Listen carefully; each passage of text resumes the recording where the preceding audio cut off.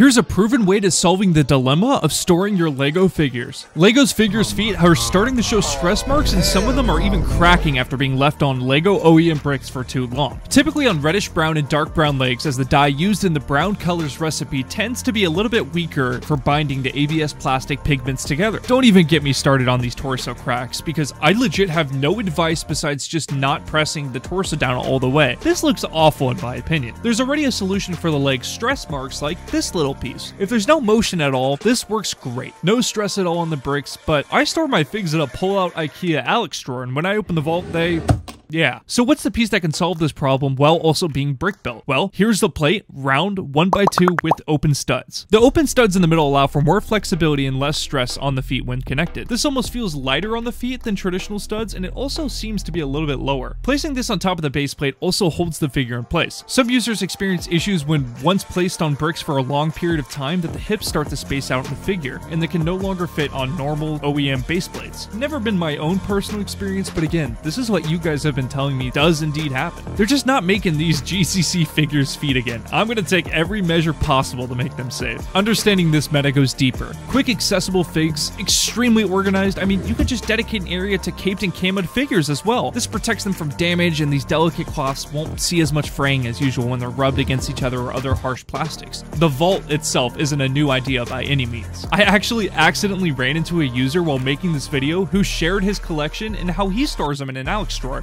which reminded me, there's another method to this madness, and it's just leaving the figs loose in the drawer, which I get it. Easy, accessible figures with the cost of just being a little disorganized. I mean, if you're not using figures uh, capes, I do this with a tub stored above me. I put them in little bags, I break them up into their trilogies and other TV, other media, and I just love being organized like this. So what's stopping you from picking up an IKEA drawer, some base plates, and a ton of these little open stud pieces? This has dramatically improved my workflow for quick accessibility while shooting, and I hope this helps you guys out as well. That's it.